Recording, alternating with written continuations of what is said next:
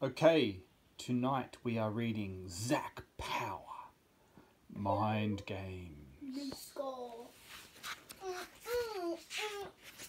Chapter 1 One afternoon, Zac Power was shopping for cool new sneakers at the Westbridge Mall.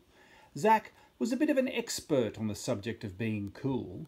He was 12 years old and he worked as a spy for the Government Investigation Bureau, or GIB for short. As he shopped, Zac watched out for people he knew.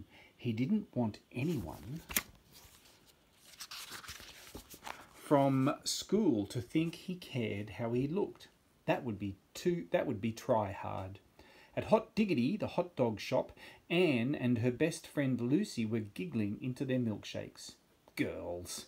His favourite CD shop, Tunes, was full of kids from school. The whole world seemed to be hanging out at Westbridge, but Zac slipped by them all unnoticed. Zac headed towards Sports Station.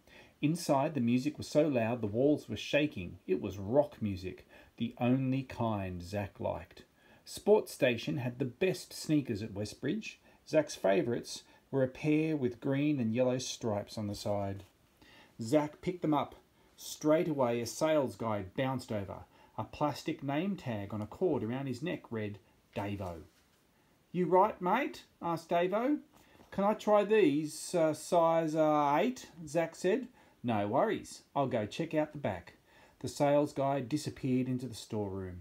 Zac waited. He looked at some t shirts. No sales assistant. He picked up a magazine and checked out the photos of kids skateboarding down a stair rail in the latest clothes. Still no Davo. What is he doing out there? Suddenly, Davo reappeared, a shoebox in his hand and a weird look on his face. Mm.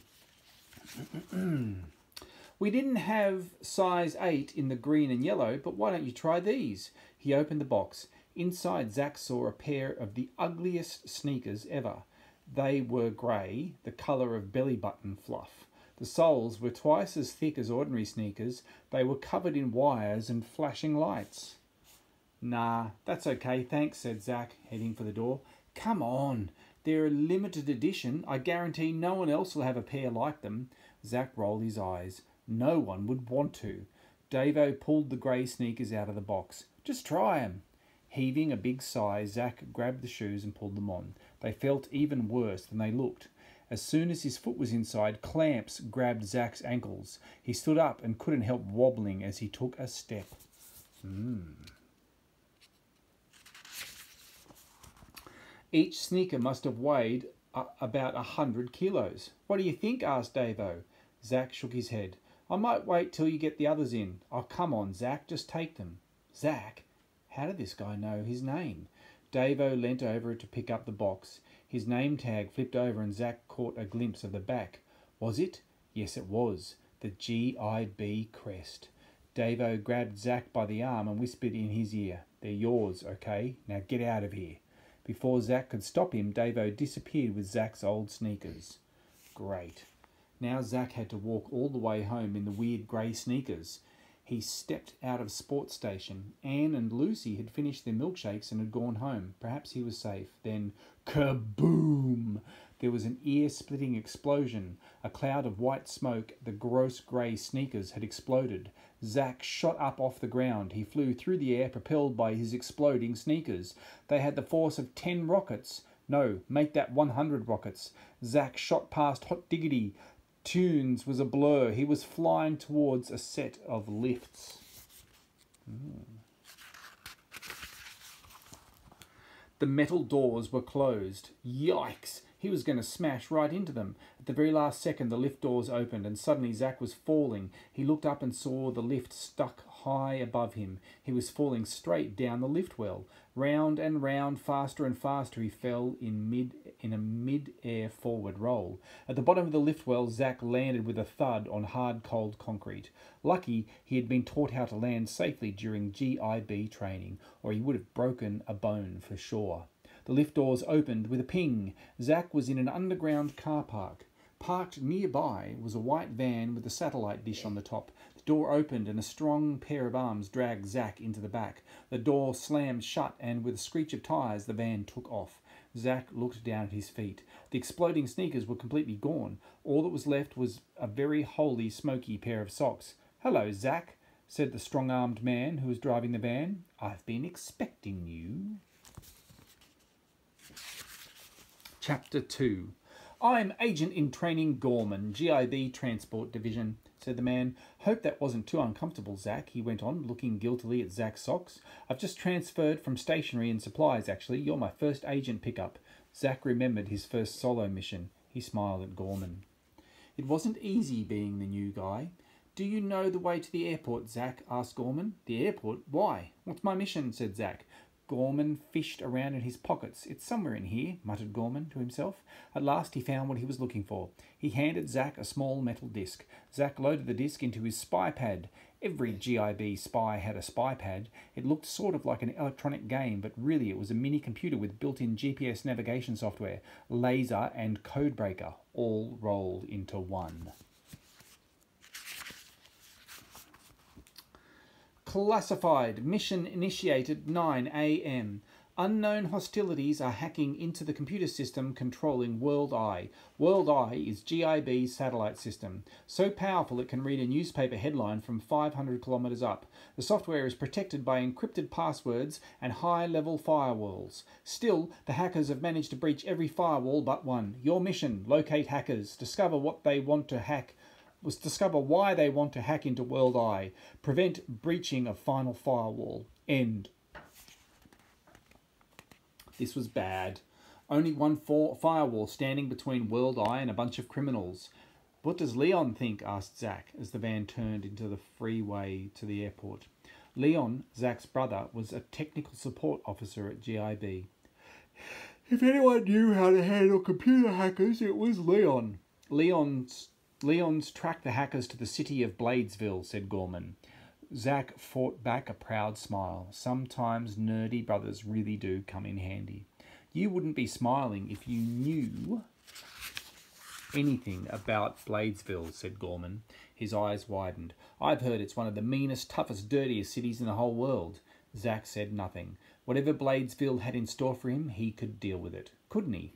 Oh, yeah, Gorman went on. Leon reckons it'll take the hackers 24 hours to breach the last firewall. Only 24 hours? Zac did some quick calculations in his head. Now he was freaking out. Says here the mission started at 9am today, so that means I've only got until 9am tomorrow to fly to Bladesville and stop the hackers. And that's, Zac glanced at his watch, it's already 6.51pm. Gordon looked guiltily, guilty for a moment. Yeah, sorry about the delay in getting you on the mission, Zac. First time and everything, you see. Gorman coughed nervously, but Zac could see there wasn't any point getting angry. Gorman was doing the best he could. Was it his fault? His best was um not really very good. Gorman opened the van's glove box. I nearly forgot these, he said, passing passing Zac a pair of wraparound glasses with a computer game controller attached. Those aren't going to explode too, are they? Zac asked, thinking of the grey sneakers. No, they're virtual reality glasses, said Gorman vaguely. Zac put the glasses on.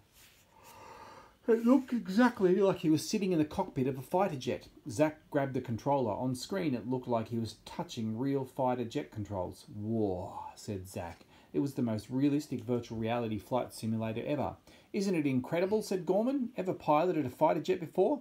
Zac hadn't, but he couldn't wait to try. He took hold of the steering yoke. He sped off down the tarmac. He engaged the throttle. Then, with a loud, realistic whoosh of air, he was airborne.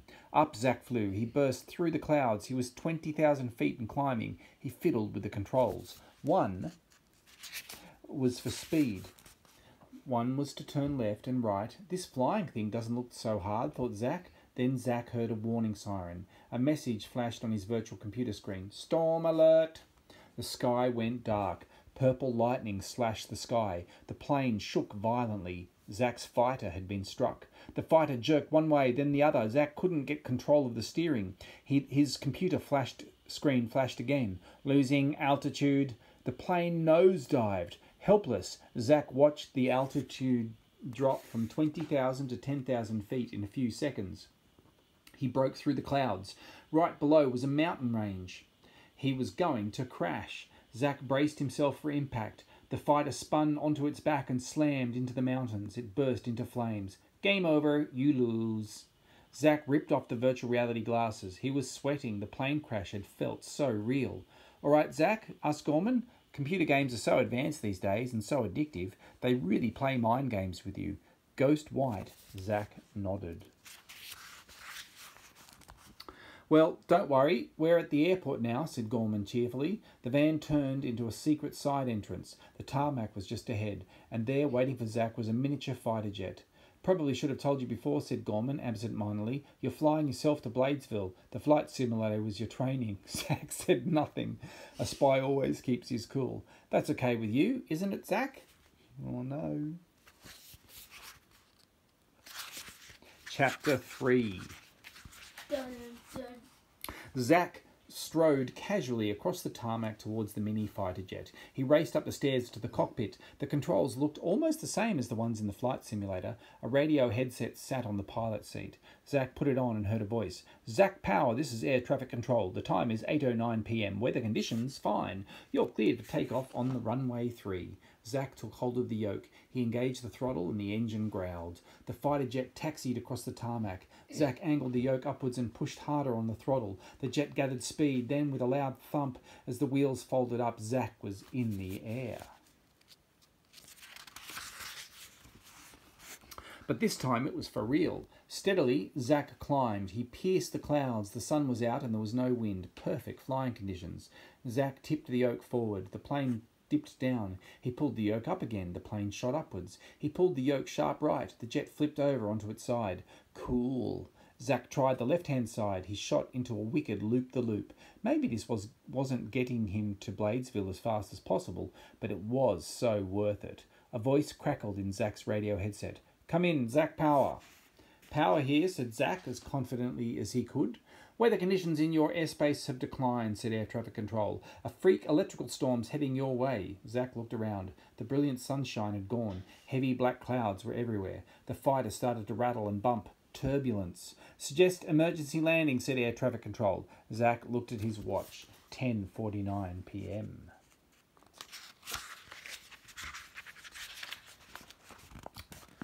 If Zac landed now, it'd take him forever to get to Bladesville and find those hackers. Freak storm or not, Zac was going to have to keep flying. Request permission to continue to Bladesville, said Zac. There was silence from air traffic control. The fighter roared into a really rough air pocket. The entire cockpit shook. For a second, radio communication dropped out. The radio came back on. Permission granted. Proceed at your own risk. Grimly, Zac flew on. Wind rattled the windscreen. The plane lifted and dropped in the wind. It was worse than a fun park ride. The fighter was equipped with rocket-assisted ejector seats. Zac checked where the lever was just in case. Beside the lever, Zac noticed a button labelled Vertical Supersonic. Zac took a deep breath. Could this button possibly do what he hoped? If it climbed at supersonic speed, there was a chance Zac would make it above the storm and out of danger. Just then, the cockpit lit up as lightning crackled across the sky. These were the conditions that made Zac crash the simulator. Without thinking, Zac slammed his hand down on the vertical supersonic the vertical supersonic button. Oops.